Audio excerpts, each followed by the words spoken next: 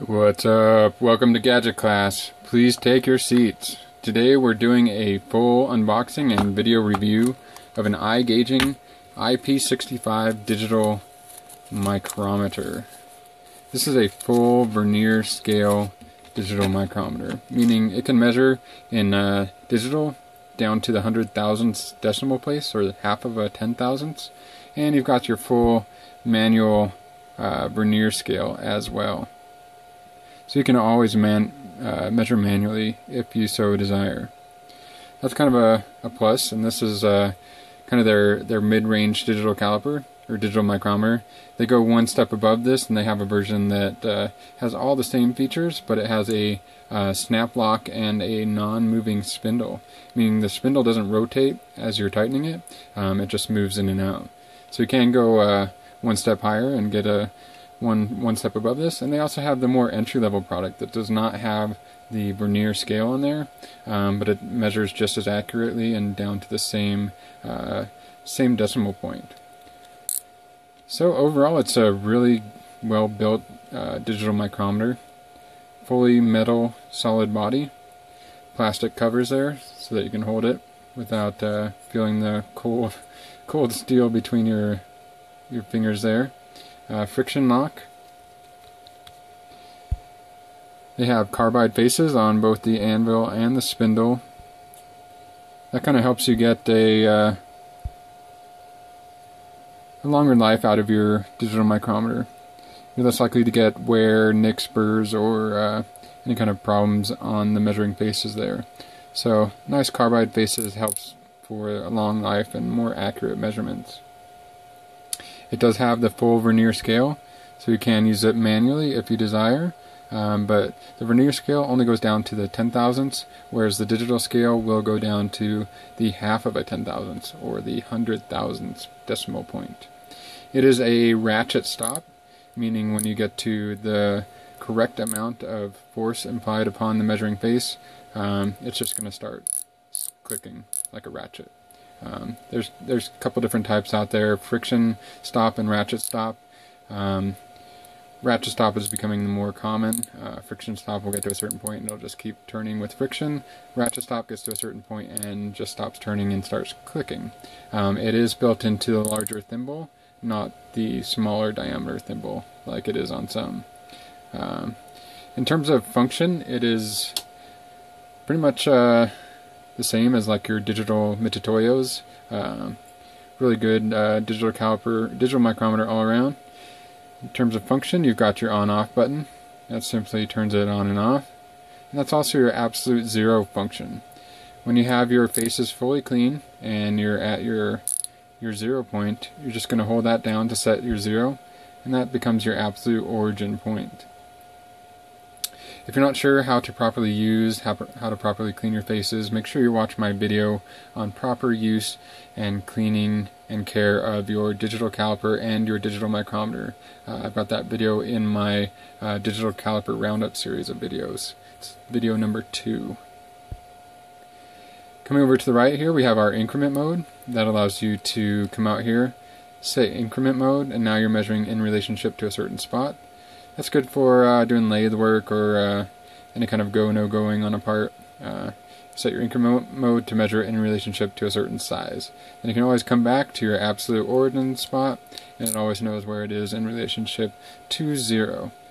Um, that's also your inch to millimeter conversion button. You hold that button down and it'll convert between inches and millimeters. And then over to the right you have your data input button. This is fully SPC data capable. Um, on this particular model, they used a screw-on cover with a rubber weather-tight seal that keeps that uh, keeps moisture and dust from getting in there. That's how they maintain their IP65 rating. On the, the lower end model, you're just going to have a rubber flap that you peel back and put the data cable input. But in order to maintain that good weatherproofing, uh, they put it, they went ahead and put a screw-on cable. So a lot of times you aren't going to be using the data input mode, you can just keep that cover screwed on there. Um, or if you use it a lot, you can just leave it off. Um, that data input mode is a nice feature to have. Uh, allows you to automatically uh, put your measurements into whatever program you're working in, whether it's a spreadsheet or a CAD program. Um, all you do is hit your data button and the data goes right in. Really nice feature to have. Um, so in the box they give you your, your spanner wrench. Spanner wrench adjusts your vernier scale. They give you your ball adapter. This is, allows you to measure uh, things with a curved surface, such as the thickness of a pipe or a round, uh, a rounded concave surface. This allows you to get in there and measure it at a, a tight spot rather than a full flat face measurement. They give you an extra battery. It does use the CR2032 battery, which is nice. And then they give you a nice little battery compartment door, uh, door wrench there for taking the battery out. So that's everything in the box. Really, overall, a nice feeling, well-built digital micrometer. Uh, I don't have any complaints at all. It read perfectly accurately on both the vernier scale and the digital scale. So let's have some fun with it. Let's uh, let's do some data input. Um, I'm having fun playing around with data input on these things. You're just going to plug it in. It'll plug into your USB port as a standard uh, HID device driver. Note that it does not actually come with the data cable, you have to buy that separately. So let's come over here to uh, CAD program. And uh, I showed the data input on uh, the digital caliper as well. I'm going to kind of do reproduce the same thing here and kind of show you um, what you can do. Uh, what I did in that video is I reproduced this socket cap screw with a digital caliper and data input. But since a, a micrometer cannot measure um, depth and it cannot measure internal width to that degree, you can get an internal micrometer, but nothing really that's going to measure something that small. That's what a digital caliper is good for. Um, so we're just going to reproduce this grossly so you can kind of see how the data input mode works. So we've got a part file open. Um, First thing you need to do is zero both the device and the data cable. And I probably got a little bit of dust on the, the measuring faces. Make sure you watch my video on properly cleaning those uh, those faces. Make sure you're doing it right.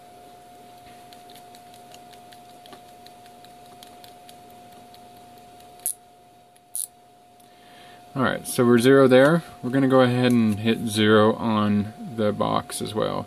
This zeroes out both the box and the data cable. And we're also going to switch it over to inch mode. And uh, basically from this point on, this data button acts the same as that data button.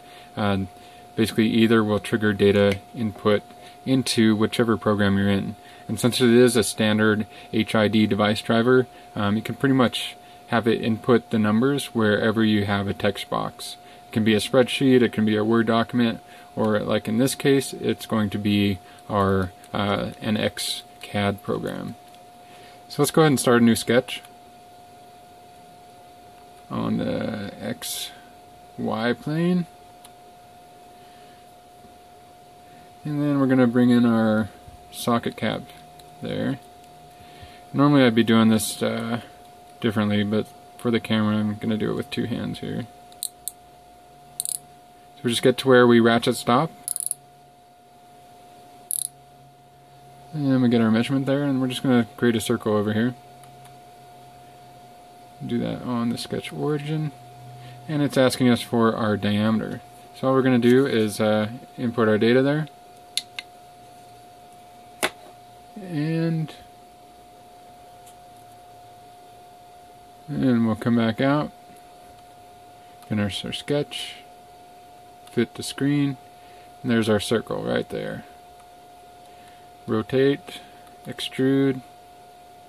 We're going to extrude the circle. In this situation, we're going to extrude it by the size of the socket. So I'm going to put my socket in there. And we're going to measure the actual size of the socket.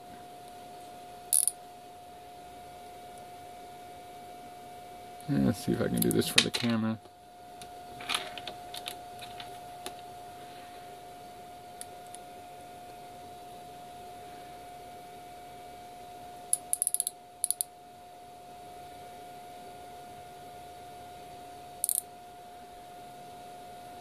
Looks like we're right around 0.2. So we're going to go ahead and come over here and we're going to input that for the size of the extrude like so. Now we can go ahead and come back out and there is the base of our socket. Now, since with the digital caliper we could just come out here and measure the depth using the depth gauge of the threads. Since we're using uh, a micrometer, we can't do that. We have to do some math in our head. We're going to go ahead and create a new sketch on the surface of that extrude.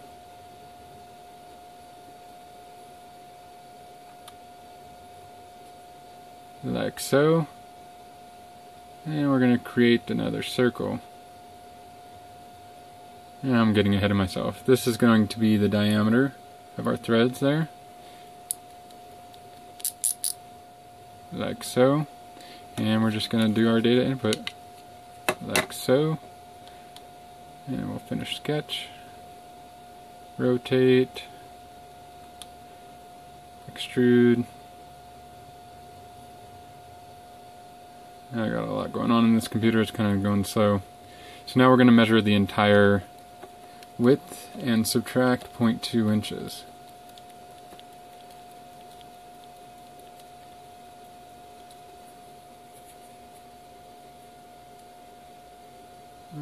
Put that in there like so. So we'll come over here to our extrude depth and we're going to go data input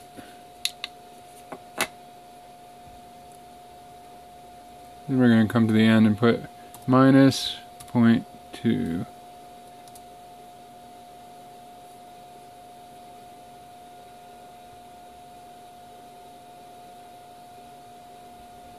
Well, doesn't like my math there. So we'll just do the math ourselves. So 0.58345 minus 0.2 is going to be 0.38 three, four, five. Enter. And there we go.